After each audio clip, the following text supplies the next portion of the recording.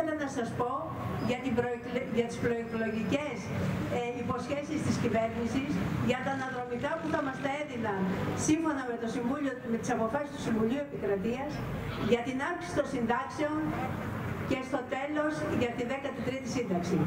Μετά όμως τις εκλογές δείξανε το χαρακτήρα τους.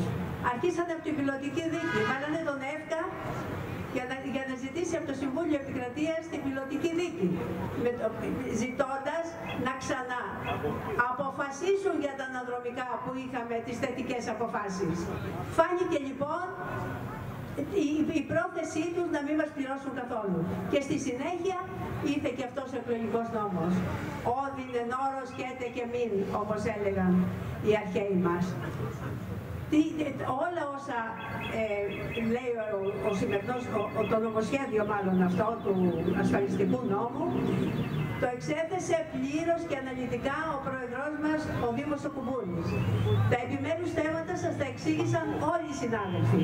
Εγώ ήθελα να σας πω για τους δικούς μας συναδέλφους, τους συνταξιούχους, με 45 χρόνια και με 50 χρόνια εν μάχημη υπηρεσία έχουν μια σύνταξη των 1.200 ευρώ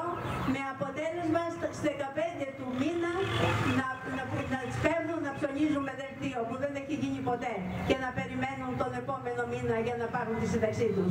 Ντροπή. Ντροπή για τόσα χρόνια δουλειάς. Ο αγώνας συνεχίζεται και ευτυχώς είμαστε όλοι ενωμένοι και θα πετύχουμε. Σας ευχαριστώ.